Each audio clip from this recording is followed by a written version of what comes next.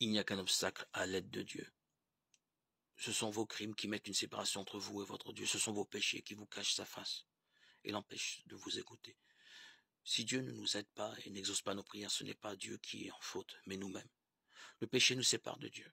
Nous avons tous péché, il n'y a point de distinction, car tous ont péché et sont privés de la gloire de Dieu.